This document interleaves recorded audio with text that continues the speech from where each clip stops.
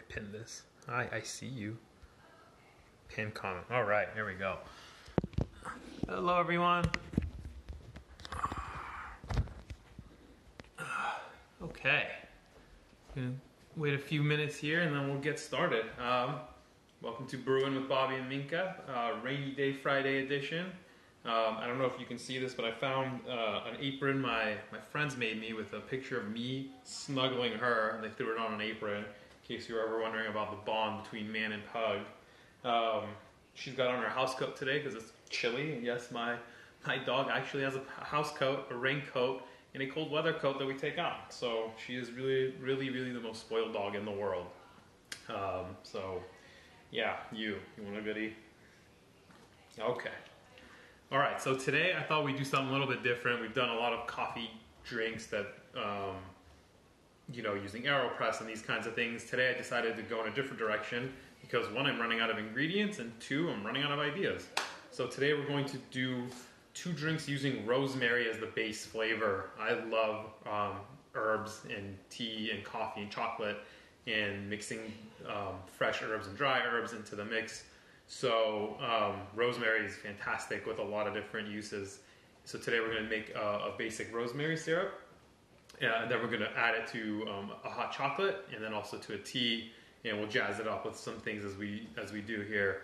Um, while people are signing up, real quick, I'm going to throw out some shout outs to people who um, are still open. Our Santa Monica shop is still open, um, and on the weekends now we're serving Sugar Blooms pastries again. So if you missed those amazing croissants, um, come visit us Saturday, Sunday. Found Coffee in Eagle Rock, Confidential Coffee in Long Beach, Cafe Aficionado in Northridge, Yang's Kitchen out in Alhambra, Constellation in La Cañada, Handy Market in Burbank, and Reverend Coffee out all the way down in uh, Rolling Hills Estates. Go visit any of these people if you're in their neighborhood. Everyone would be super grateful for the business. Um, again, everyone is in, in, you know, we're all in this uh, in this life raft these days.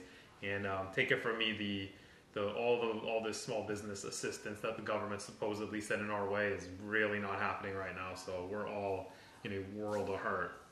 Um, so uh, other other little updates. If you have any ideas for this show, show uh, please let me know what you'd like to see us demo. I mean, let me know what you have in your kitchen, and we can do a whole whole thing about it. Um, basically, that's I, I, on the day before these uh, I open my fridge and I see what I have left, and I try to come up with something creative for you guys. Um, so let me know what you guys are, are interested in seeing um, done, and we'll, we will we will definitely get it going. All right, enough of me rambling. Uh, oh, one last thing. Uh, like everybody else, our baristas are hurting as well. So we have a tip jar pinned to our Instagram page. So please, if you should if you should so feel inclined, drop them a tip. It goes right to them, um, and they would be beyond grateful in this time of need for everybody here. Um, all right, so rosemary syrup. Here's the, here's the trick with rosemary syrup. Use dried rosemary, right? You don't need to get fresh rosemary to make this. Dried rosemary, dried herbs in general make great syrup bases. A lot of people think you need to use a fresh herb. Dried herbs work almost, if not better. Um, so we're going to take uh, we're going to take two grams of rosemary. I'm going to put four grams of rosemary in here just to double the volume. But you're going to take four grams of rosemary and we're going to add 40, uh, 80 grams of hot water to it. And we're just to let that steep for a, for a few minutes here.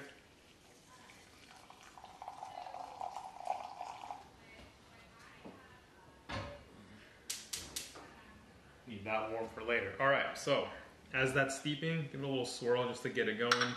Um, give that about two to three minutes. We're to use double the uh, double the amount of water for the sugar. So we have about um, 80 grams or 40 grams of water here. We got uh, 50 grams of water here. We got about 25, 30 grams of sugar. So I want this a little bit of a thicker, um, more syrupy, uh, more syrupy syrup, if you will. Yeah. All right, so while that's going, uh, we're gonna get the second part of our drink set up. We're gonna use basil seeds in the tea. So if those of you been in our shop lately know we have a drink called the Beijing Sand and Fog. This is a riff on that. Basil seeds are kind of like chia seeds, but I, I, like them a little bit better. They're a little more crunchy in my opinion. Um, they give you a little bit more, um, I don't know, almost like a boba you think. So I'm gonna throw a whole tablespoon of this in here for now. It's useless. That's my tablespoon. There we go. Get a good heaping tablespoon. You're supposed to hydrate these in water. I'm going to hydrate these in, uh, in, in syrup. Uh, greetings from Guatemala. Greetings to you as well. Guatemala is one of my favorite countries to buy coffee in and one of my favorite countries to visit. Um, anyone who's watching here, if you haven't been to Antigua, go to Guatemala, go visit Antigua. It's one of the most beautiful places in the world. Are you huffing because you want a treat? There you go. All right. Okay, so after it's steeped for a couple minutes, we're going to strain. We're going to strain the rosemary over the sugar and just dissolve dissolve the rosemary infused um, water here, and that gives it all the aromatics you could want. Hey, I see you. All right, so we're gonna just shake this up, get it going. Um, hey, I see you. Okay. She's so bossy, you guys don't even know. Um, so I like to use Demerara sugar with everything. Those of you know us know we love the darker sugars. Um, maybe it's because I'm a tanned person, but we always think darker is better out here. Uh, but you can use white sugar, use powdered sugar, whatever you got. You're just using it to sweeten it. Even honey powder would work, or just mix it with honey and stir up, and you're pretty much good to go. So I think I'm gonna add a little bit more water to this.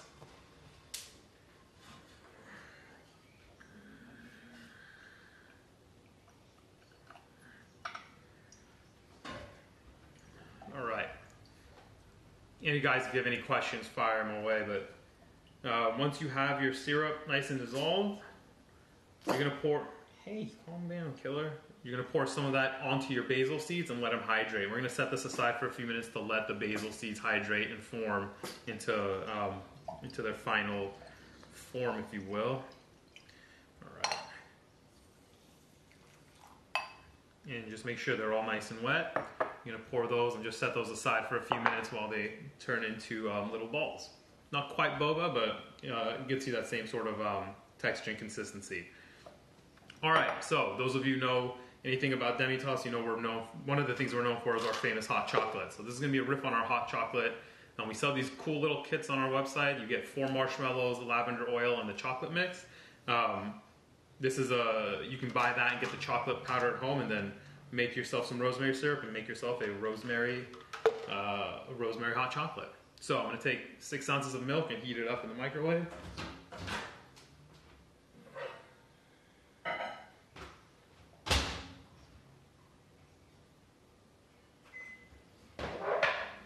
Next, I'm gonna get my protein shaker ready because that really is one of the best things to use to mix ingredients. And I'm using half an ounce of chocolate powder, which looks like that. It's more than you think, and the chocolate powder is super strong and super rich. So, um, like anything, if you want it more chocolatey, you can add more chocolate, use less milk, whatever you got. But I think um, half an ounce is quite a bit of chocolate for this. Um, but if you want that super rich, like European style chocolate, I would I would take this up to maybe a full ounce to the six ounces of chocolate uh, to the six ounces of milk. I'm using coconut milk today because that's literally all I have in my fridge. But this will work with any kind of milk you have: whole milk, uh, almond milk, cashew milk, whatever you like. Um, I honestly think with um, with rosemary and almond milk would be really nice. You get some nutty notes in there, but um, I had coconut milk, so that's what I'm working with here. Um, so we're gonna add our milk into the chocolate. And then I'm gonna add about two ounces of the rosemary syrup to give it some flavor. There we go, and pour the rest into here to hydrate uh, those basil seeds. All right, and you guys know the rest here. We're gonna get our protein shaker going, and let's shake it up. And again, if you don't have a protein shaker, use a mason jar and throw some rocks in it or whatever you got just to just to get it going here. What's up, Dina? So, um, all right, so it should be nice and frothy. Get your uh, coffee snob mug ready. And you got your rosemary hot chocolate.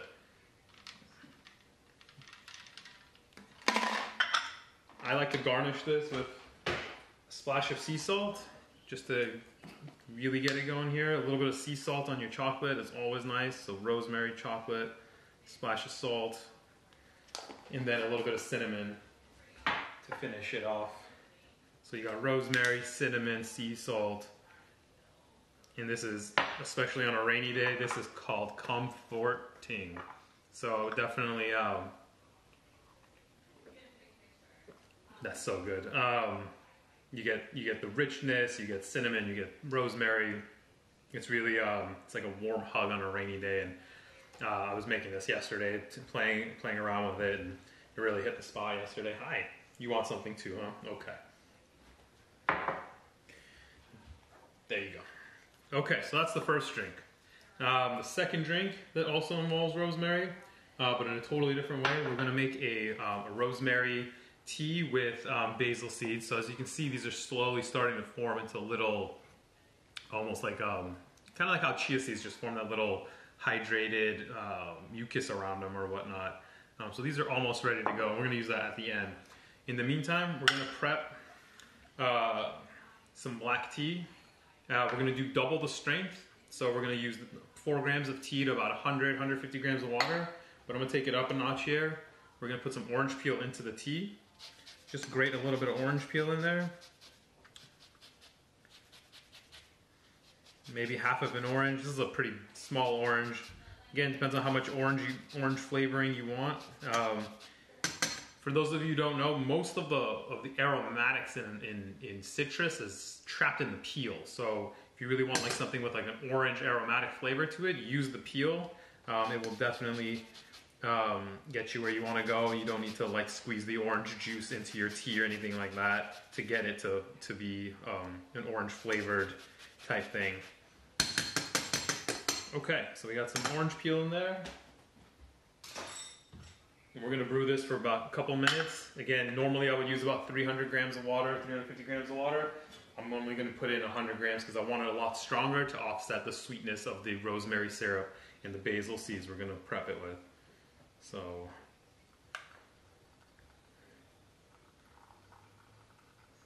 like so. And we're gonna give that a few minutes here, a little bit more. So we're gonna have um, black tea with a, a, lot of orange aromatics in it.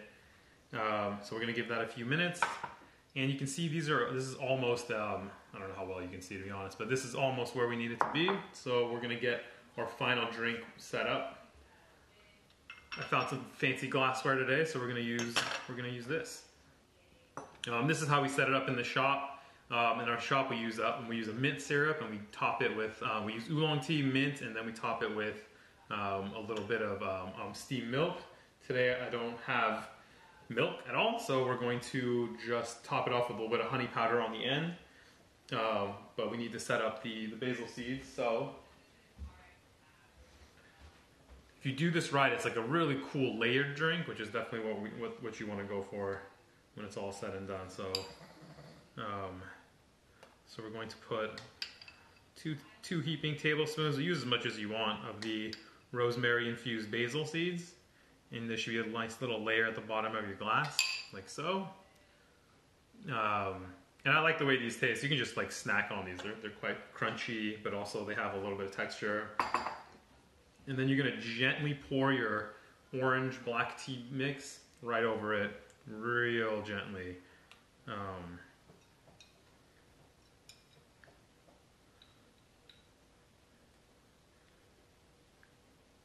man, you can really smell that orange as it comes off of this. Okay. So as you can see, we got um, bottom layer of, of basil seeds uh, orange black tea up top. And then, like I said, I like to finish this off with a little bit of honey.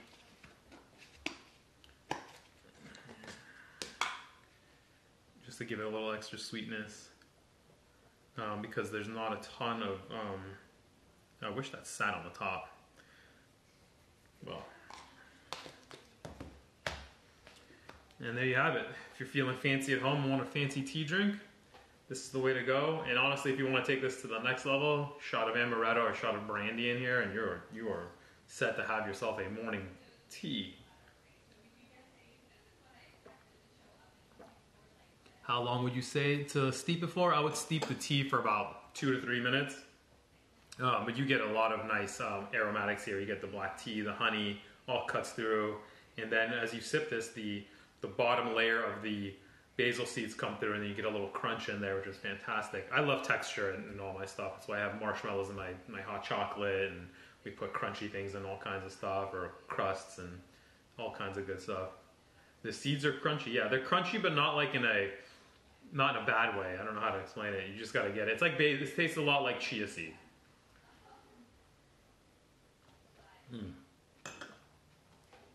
And then as you bite down on the on the basil seeds, you get the, the blast of rosemary, which is what we're aiming for today, right? Uh, rosemary infused thing. So it's really interesting. You get orange, you get rosemary, you get a little bit of the sweetness from the honey, and you get to crunch on something fun. And um, yeah, this, I, I, like using weird ingredients like this, but this is a fun drink to make at home. Um, you can get basil seeds like on Amazon. You don't even need to get an Amazon grocery delivery order for this. And then um, yeah, like I said, you can use the dried, dried any kind of herb you have, really, dried thyme, dried oregano. You can make all kinds of fun syrups with just whatever you have in your in your pantry. Um, so that is uh, that is our tutorial for today. Um, how to make drinks with basil. I'll throw this up on our blog. Hi, you want more treats? Got it. There you go. As always, please let me know if there's something you'd like to see us do. Um, we're happy to um, mess around with anything as you can tell. Uh, and um, yeah, that's it for us for today. Thanks as always for tuning in. I hope everyone is um, healthy. I hope everyone is safe. I hope everyone is surviving um, their with their sanity intact. Uh, I'm, I'm, losing it very quickly. She's obviously loving it. And um, that's it for today. Again, we'll put uh, all the recipes on our blog in a few minutes. I'll, I'll, type this out. You can definitely go and check it out. Um, check out uh, go support uh, your local roasters, your local um, coffee shops that are still open, and um, and like I said, almost any of these drinks you can put a little bit of amaretto or brandy into uh, if if you need it in that um, you know if you need it for uh, for having tea in the morning. Cheers, everyone, and I will uh, I will talk to you guys soon. The apron, yes, the apron. Um, where can we get these aprons? This was a this was a present someone got me.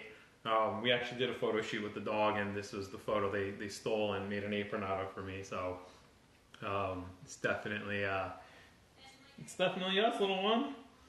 So um, thanks for tuning in, everybody. I hope everyone's uh, everyone has a great weekend. And I don't know about you, but I'm loving the rainy weather. So we're gonna go and, and um, drink our tea and have our hot chocolate and. Uh, and we will see you guys on Tuesday. Again, if you have anything you want us to do, please definitely, um, I found, please definitely send us um, your suggestions. Um, if you guys want us to do some kind of fun signature drink, um, we will definitely uh, figure something out. Trust me, I've made I've made coffee with avocados before, so we can do anything here.